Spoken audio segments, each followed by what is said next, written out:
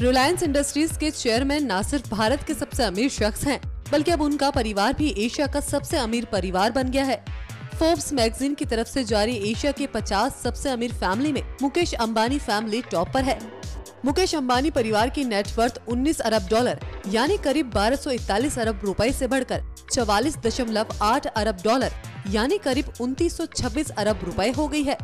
पिछले साल की तुलना में अंबानी फैमिली की संपत्ति में चौहत्तर फ़ीसदी का इजाफा हुआ है। फोर्ब्स की इस लिस्ट में दूसरे नंबर पर साउथ कोरिया की ली फैमिली है। दक्षिण कोरिया के ली परिवार की संपत्ति ग्यारह दशमलव दो अरब डॉलर, यानी सात सौ इकतीस दशमलव तीन छह अरब रुपए बढ़कर चालीस दशमलव आठ अरब डॉलर, यानी छब्बीस सौ चौसठ अरब पचानवे करोड़ रुपए हो गई है। इसकी वजह सैमसंग इलेक्ट्रॉनिक्स के शेयरों के मूल्य में पिछले एक साल में पचहत्तर फ़ीसदी का इजाफा होना है। ली परिवार कोरिया की सबसे बड़ी कंपनी, सैमसंग के प्रोमोटर्स हैं। ली फैमिली के बाद हांगकांग का कॉक परिवार तीसरे नंबर पर है। कॉक परिवार की संपत्ति 2638 अरब तिरासी करोड़ रुपए है। इस परिवार के पास एशिया की सबसे अमीर real estate company Sun Hung Kai Properties का नियंत्रण है।